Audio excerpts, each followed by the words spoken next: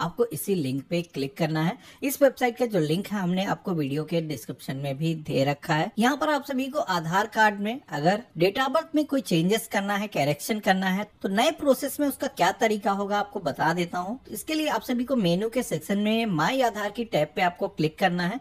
कई सारे ऑप्शन आते हैं। आप सभी को गेट आधार के सेक्शन में एक ऑप्शन देखने को मिलता है, बुक एंड अपॉइंटमेंट का। तो आपको इसी ऑप्शन पे क्लिक करना है। इस ऑप्शन के ज़रिए हम अपने आधार कार्ड में अपनी जो डेट ऑफ़ बर्थ है, उसमें चेंजेस कर सकते हैं, करेक्शन कर सकते हैं। साथ ही में अगर आपको नेम में चेंजेस करना है या फिर एड्रेस चेंज करना है, मोबाइल नंबर चेंज करना तो वो भी काम इसके ज़रिए किए जा सकते हैं। तो यहाँ पर सबसे पहले तो आप सभी को सेलेक्ट सिटी लोकेशन की टैब में आना है। यहाँ पर आप सभी को कई सारे शहरों के नाम दिखाए गए हैं। तो यहाँ पर जिस भी शहर से आप हो, अपने नज़दीक का जो आधार सेवा केंद्र है, वो इस लिस्ट में से आपको सिलेक्शन करना है। कई सारे शहरों में एक से ज़्यादा भी आधार सेवा केंद्र देख सकते हैं। तो आप अपने लोकेशन के अकॉर्डिंग कोई भी एक सिलेक्शन कर सकते हो। इसके बाद में प्रोसीड टू बुक अपॉइंटमेंट के ऑप्शन पे क्लिक करोगे।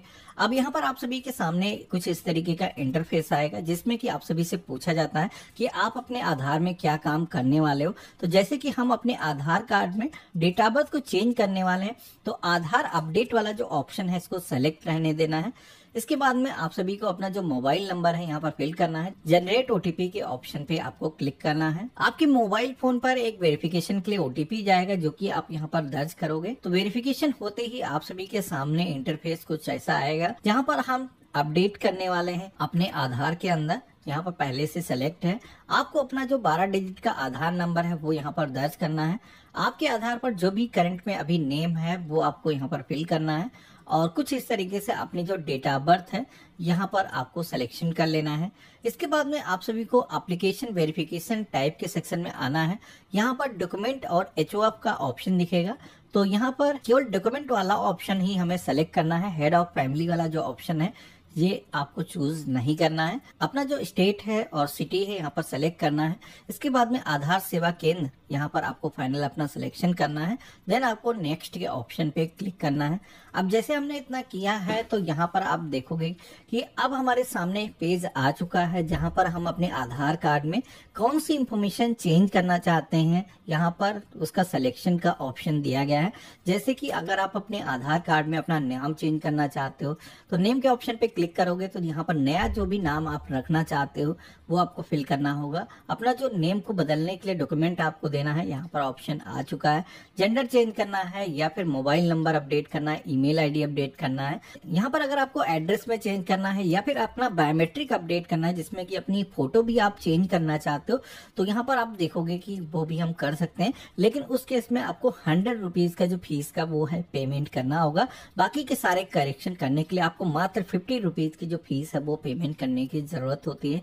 तो जैसे कि हम इस वीडियो में देखने वाले हैं कि डेट ऑफ़ बर्थ को हमें कैसे चेंज करना है, कैसे अपडेट करना है। तो जैसे हमने डेट ऑफ़ बर्थ के ऑप्शन पे क्लिक किया है तो यहाँ पर आप सभी को नई जो डेट ऑफ़ बर्थ है वो सिलेक्शन करने के लिए बॉक्स में आ चुकी है। और यहाँ पर आपको डेट ऑफ़ बर्थ का एक प्रूफ भी देने के लिए बोला जाता है जिसमें कि आप अपनी मार्कशीट दे सकते हो, बर्थ सर्टिफिकेट दे सकते हो। इसी के साथ में कई सारे गवर्नमेंट संस्थान यहाँ पर दिखाए गए हैं, जिनके ज़रिए कोई भी बर्थ का प्रूफ अगर जारी किया गया है तो वो भी आप यहाँ पर दे सकते हो। इसी के साथ में अगर आपके पास में कोई प्रूफ नहीं है अपने डेट ऑफ़ बर्थ का तो एक सर्टिफिकेट गवर्नमेंट ने जारी किया है, जो कि आप सर्टिफाई करा करके आप यहाँ पर दे सकते हो। अगर डाउनलोड के ऑप्शन पे क्लिक करोगे तो यहाँ पर आप देखोगे कि एक फॉर्म डाउनलोड हो जाता है।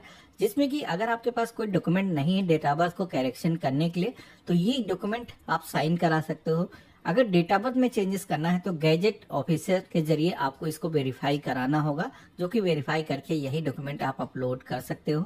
तो जैसे कि मेरे पास में मार्कशीट मौजूद है हाई स्कूल की तो वो हम देना चाहते हैं, हमने सिलेक्शन किया है नेक्स्ट के ऑप्शन पे क्लिक किया है। तो अब आप देखोगे कि हमारे सामने एक कैलेंडर आ चुका है, जिसमें कि कुछ डेट्स यहाँ पर दिखाए गए हैं। इन डेट में आप देखोगे कुछ ब्लॉक्स यहाँ पर दिखाए गए हैं, जो कि टाइम ब्लॉक हैं, जहाँ पर कुछ में रेड और कुछ में ग्रीन कलर से यहाँ पर आपको दिखाया गया है।